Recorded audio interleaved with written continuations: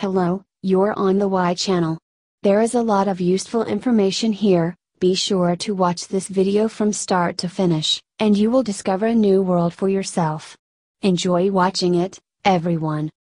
Why do waffles have squares? On the surface of this confectionery are necessarily present small indentations, something resembling a honeycomb. As it turns out, they're necessary to better hold the filling, preventing it from spreading out on the baking plates.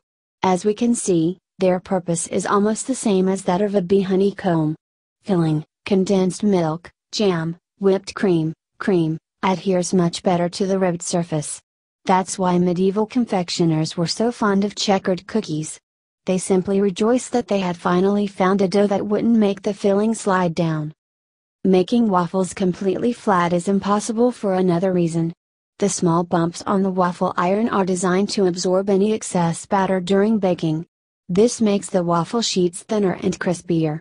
The dough bakes much better on the fluted metal, also because in this case, the area of contact with the heated work surface increases considerably. So why do they have to be squared?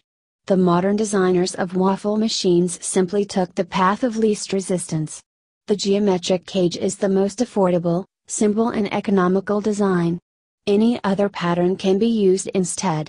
The most important thing for the baker is to have a honeycomb pattern on the surface of the waffles baked between two heated metal trays. As we can see, the favorite delicacy of many gourmets, waffles have long been prepared with cages or cells on both sides. Their function is not decorative at all. Thanks to the convex cells, any filling is better retained on the finished product surface and the wafer sheets bake much better. Without a pronounced relief, everyone's favorite waffle risks turning into a mediocre cookie. We hope you found it interesting and useful. This is the channel Why.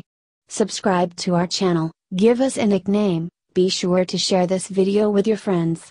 We wish you peace, love and prosperity.